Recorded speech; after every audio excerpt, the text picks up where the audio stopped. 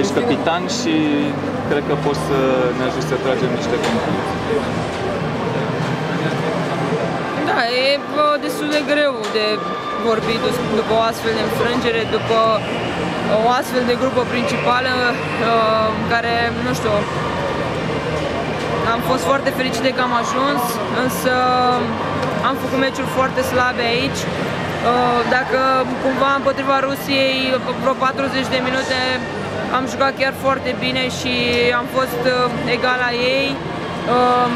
Cu Suedia deja am jucat mai prost, iar astăzi, uh, o asemenea, după o asemenea înfrângere, sincer, nici nu, nu găsesc uh, cuvintele, pentru că eu cred, eu chiar cred cu adevărat că nu asta este fața adevărată a României. Însă, din păcate, într-un astfel de turneu în care lucrurile se succed foarte repede, uh, meciurile sunt în fiecare zi sau la o zi distanță, dacă nu reușești să ieși din acea stare proastă în care ești, înfrângere după înfrângere nu poate să te aducă decât mai jos și mai jos și să ajungi să performezi la un nivel extrem de slab, așa cum am făcut noi astăzi. Tocmai de asta te întreb, chiar dacă o să-ți găsești greu cuvintele, ce le vei spune fetelor ca să le ridici, mai ales că vă așteaptă un turneu greu peste două, trei Uh, da, pe asta e singurul lucru de fapt pe care pot să uh, îl spun că peste 3 luni jucăm uh, turneul preolimpic care este extrem de important, pe care îl vom aborda probabil cu cam același nucleu de jucătoare, pentru că nu cred că uh, lucrurile se vor schimba în ceea ce privește jucătoarele de la Brașov în următoarele luni. Și toată lumea trebuie să înțeleagă, jucătoarele trebuie să înțeleagă că trebuie să se antreneze mai bine la echipele de club, să vină cu o pregătire mai bună de la echipele de club, pentru că foarte multe lucruri nu se pot face la, la echipa națională. Uh, trebuie să fii montat, trebuie să te gândești că la echipa națională este cu totul alt nivel și cred că și-au dat seama acum și cele care nu au fost niciodată sau care au fost de puține ori și au, au debutat la un campionat uh, sau la un turneu final, mai bine zis, că nivelul este mult mai ridicat de, decât ceea ce se întâmplă în Liga Națională. Pentru că știu că de multe ori sunt uh, comentarii, sunt cerute anumite jucătoare, dar vedeți și dumneavoastră că Liga Națională nu se poate compara cu, cu un turneu final al echipei naționale și sper să înțeleagă și ele că este nevoie de mult mai mult ca să joci la echipa națională și nu doar ca să ajungi la un turneu, ci să faci meciuri bune, să câștigi, să te lupți pentru medalii și pentru ceea ce sperăm noi, pentru că unele dintre noi uh, ne luptăm de ani întregi să ajungem la, la Olimpiadă, iar eu îmi doresc din tot sufletul meu să, să mergem la Tokyo, pentru că pentru mine cu siguranță ar fi ultima șansă să merg la Olimpiadă.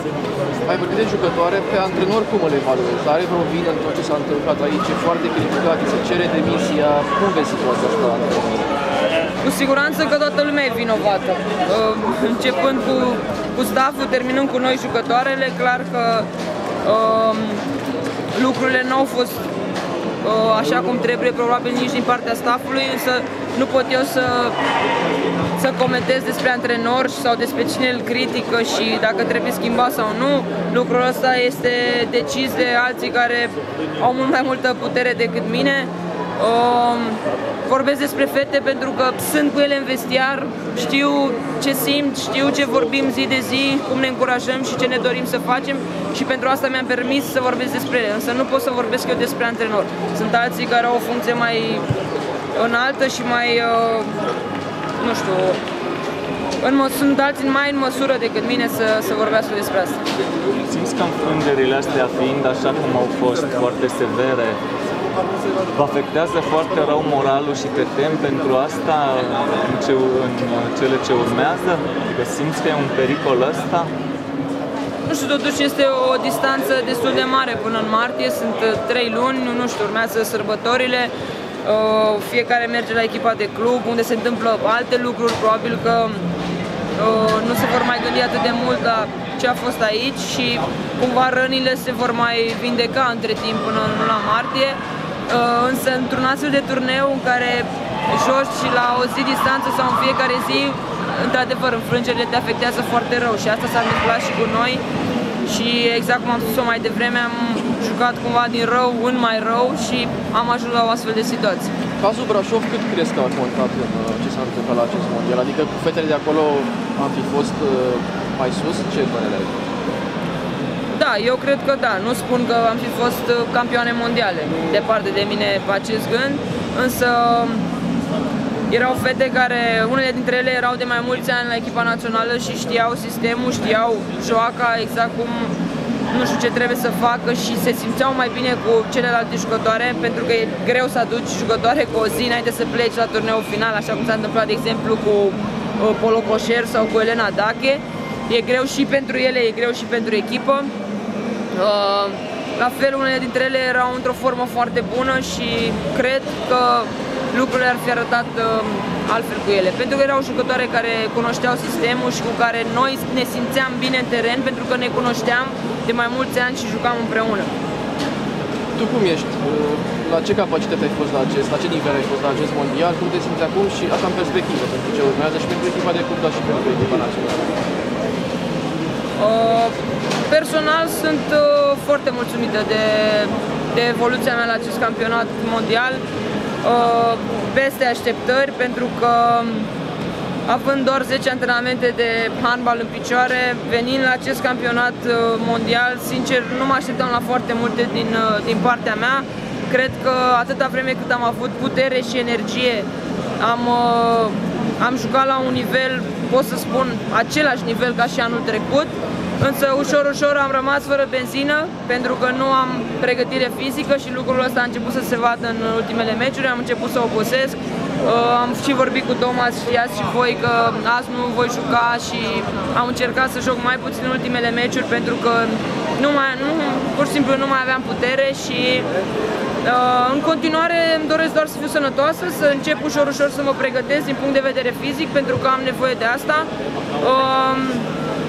Uh, Cred că faptul că am reușit practic într-o lună de zile să ajung la același nivel la care jucam anul trecut, nu știu, fără lipsă de modestie, cred că e un lucru senzațional, nu știu câți jucători din lume reușesc lucrul ăsta, așa că nu pot decât să fiu foarte mulțumită de asta și să am grijă de sănătatea mea pentru că în rest cred că în ceea ce privește jocul meu de handbal, cu siguranță se va îmbunătăți pe viitor. Ai un mesaj și pentru spectatorii care au încurajat naționala pentru la fiecare meci și am avut susținere mare aici în Japonia? Da, într-adevăr. Vreau să le mulțumesc din, din tot sufletul. Uh, au fost incredibili la fiecare meci. Uh, știu că nu le-a fost nici lor ușor uh, să ne vadă suferind asemenea înfrângeri și totuși după fiecare meci ne-au aplaudat și au scandat România. Mi-aș fi dorit din toată inima ca pentru ei să obținem niște rezultate mai bune.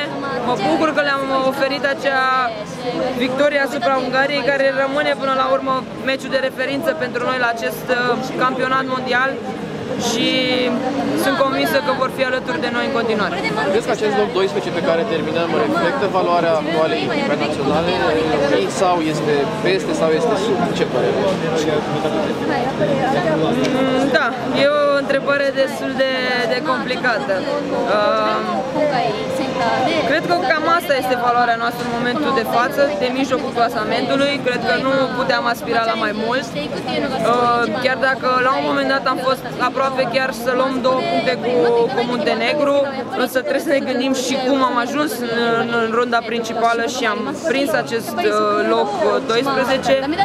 E clar că nu este, nu este o performanță locul 12. Uh, însă mă bucur că am reușit totuși să fim uh, între aceste 12 echipe în condiții în care sunt echipe mari care sunt uh, în afara celor 12 echipe însă e, e complicat, a fost un turneu greu, puteam la fel de bine să nu fim aici și să fi jucat în Cupa Președintelui, dacă ne gândim cum am câștigat cu Ungaria, uh, dar cred că, cred că ăsta este nivelul echipei naționale în momentul de față, de mijlocul clasamentului.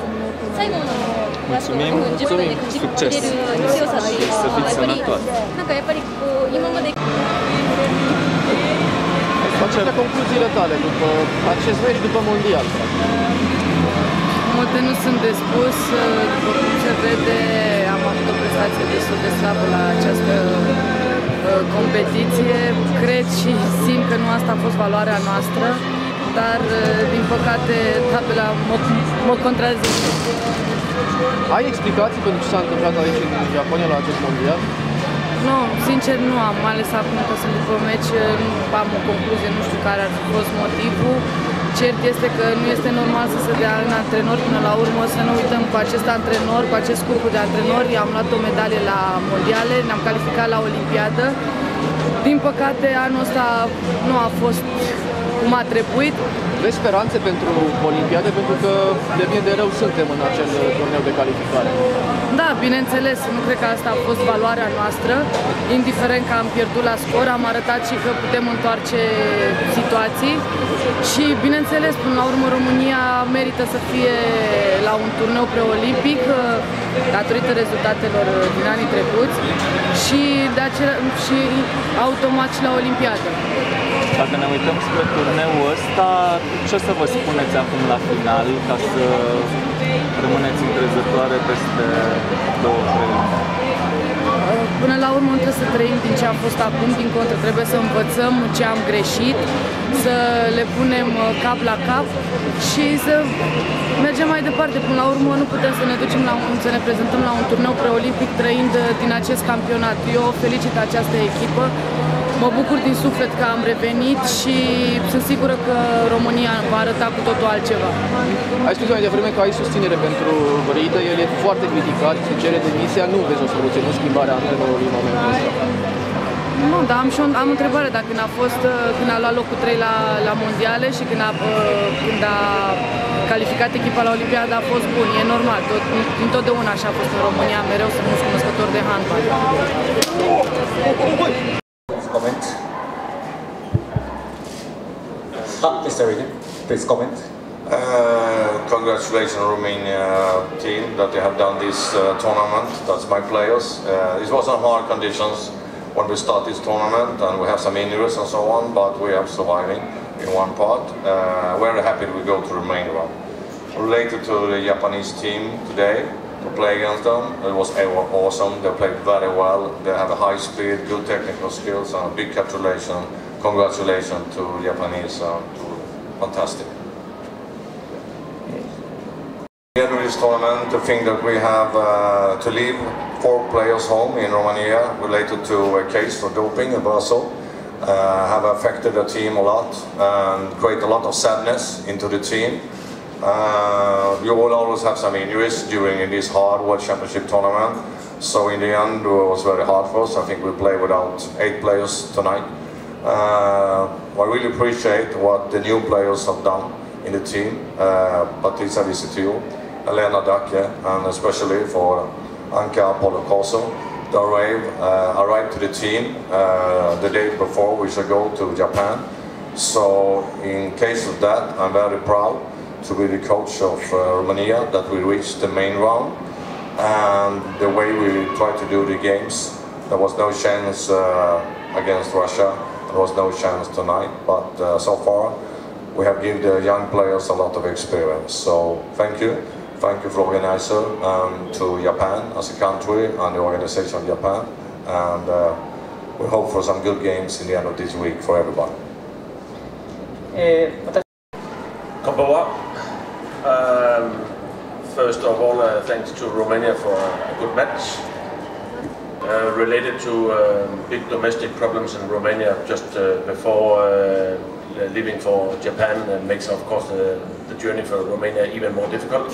It must overall be a great success that re they reach the main uh, round uh, in a difficult group.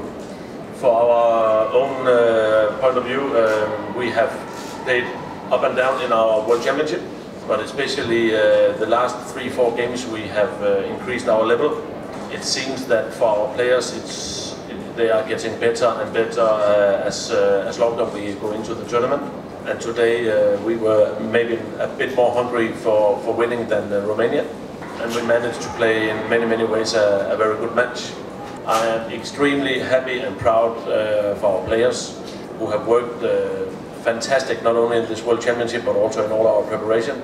Players who have a, a extremely good discipline and have sacrificed a lot to, to reach the, this level and finally make a, a top performance today. Uh, that's uh, very satisfying. Thanks to everyone uh, around the World Championship here in the Japan organization, everything, and hopefully we will have fantastic matches uh, at the end of this week, uh, semi-final, finals uh, for the supporters in Hamburg, Japan. First of all, I want to say congratulations Japan team. Uh, unfortunately today they show us uh, much better handball than what we show. Uh, today I think was about attitude and uh, we missed this. Oh, it's true what uh, Tomas said about our situation. It's difficult to change everything in one day. And uh, again, thank you Japan for everything. The condition was amazing here. Thank you a lot. Thank you very much. Uh, next, Japan, Ms. Tanabe, please comment. えっと今日はまず、えっと、ルーマニアと最後の試合をすること戦うことができてよかったです I'm happy that uh, today we managed to play this game with Romania as our last match in this championship. えっと、今日は自分たちの、えっと、いい展開に持っていけたのが勝利に結びついたかなと思います Uh, I think today we managed to take the flow of the game and uh, therefore we managed to win the game. えっと本大会、えっと、熊本日本での開催ということでたくさんの方々に、えっと、ご支援ご声援いただいて本当に感謝しています Um, I'm really grateful for everyone who supported this World Championship here in Kumamoto, Japan. 最後こういう形で終わることができてよかったです I'm happy that uh, we managed to conclude this championship for us in this in this way. Thank you. Thank you very much. Now, we'll move on to Q&A. Thank you. So, uh, Romania team will leave the press conference.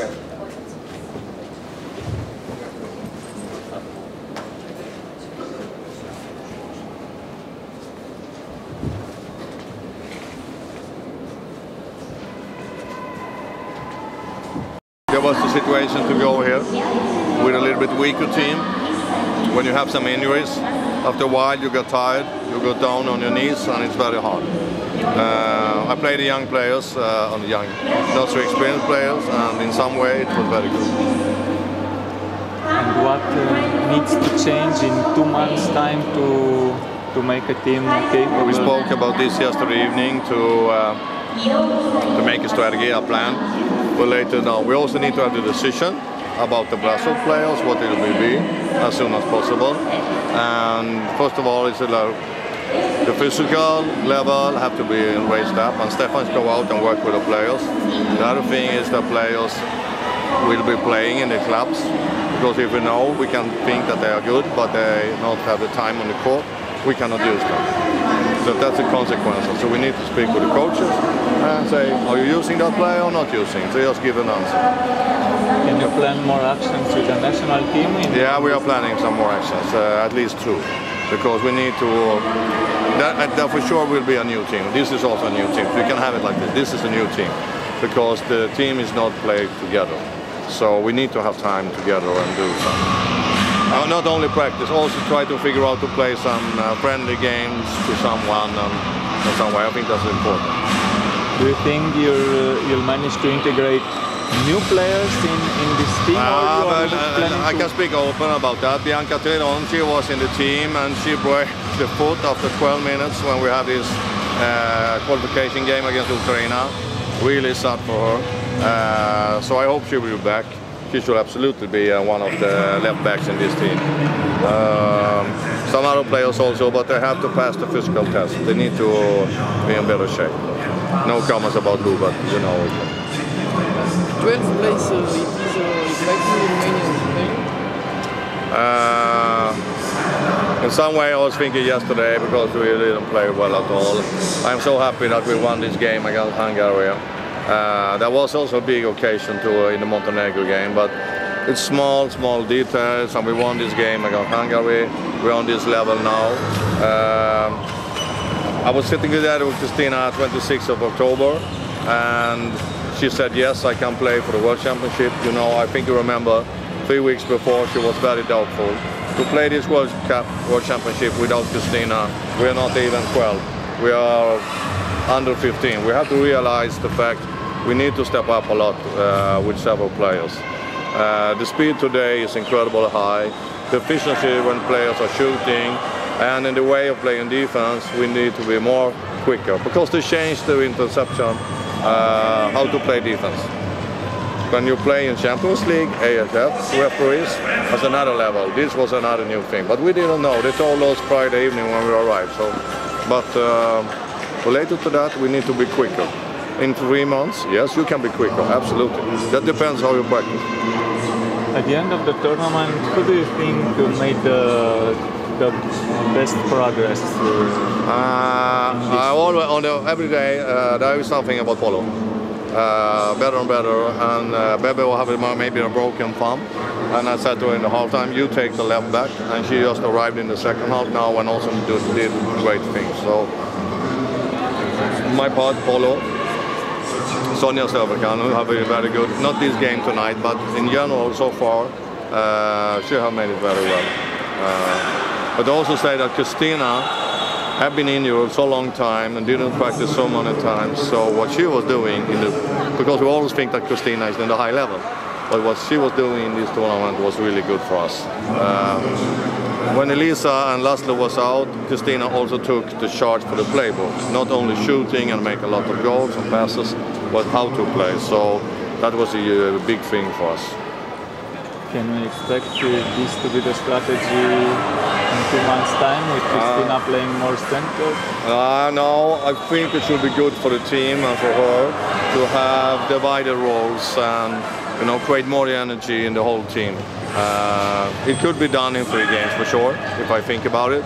But I think, uh, let's say that Elisa will be back, it's very good because then Cristina can focus more to be play one against one, two against two in the playbook. So it's too much things to have in the brain. I think. I also think there will be some issues in Chesamet, so she has to drive a lot. Have you done anything wrong? Every coach, every player is doing things wrong everybody, uh, all the things. It's about adapt and fix and uh, react on that. I think I played 7 to 6 a little too long yesterday, but also we spoke about that. We want to do it and we want to do it now because it will be a big thing in the future. So it's one thing to play 7 against 6 in the practice, but another thing to play it in the game. So we think also it's a good thing for to do now because we can see the teams start to do it more and more. Um, but all, otherwise related to uh, and me, Joma, the players, I think we have a very good environment. We're discussing the tactical setup. Uh, we make some suggestions, we decide together. Uh, we make some evaluation. There are always some points and uh, what can be better. So I think we have some good environment related to that. So, uh, but related to that question, everybody's doing good things and bad things, so that's not. It's about how you uh, reflect and adapt and try to bring it up again. And the big things for that is when you have young players with not so much experience, you have players lower than 50 international games, and you play this hard tournament, yeah, that's a process to understand what's happening in the evening, reflect on that, and be ready to play the next day. Let's say yesterday evening, and how the players look this morning, they are so tired. They are so tired now. So uh, that is hard. And when all have the bench like this, only three players to change. So, so in one way they were doing a, a, a, great job today, but when you miss all these shots, it's related that you're tired. What will you tell them before going home? Uh, okay. uh, speak to everybody. Uh, always thank you for what they have done. As I said in the press conference, we arrived to this tournament more or less not prepared as a team because we changed some players and some main players. Uh, maybe we were a little bit afraid what's going to happen uh, related to that. So I'm very proud what they have done and they try to fight. And in some important games they really make it together. Um, about the future, Tell them what we the requirements, the physical state, continue to practice uh, and be responsible for that. As we see, we need to step up and uh, to have some meeting with the coaches also that the players have the feeling that they can play on the, in the games or they have to challenge the coach of course because they need to have some playing time. If you don't have that, you cannot sit on the bench and play in the national team. But that will be every player's choice also to looking forward to be positive that this was one tournament. Uh, what we can change, you can develop, and a lot of things will happen before this qualification in March. So be healthy, eating well, sleeping well, be professional, something like that. Thank you and uh, good luck for the future.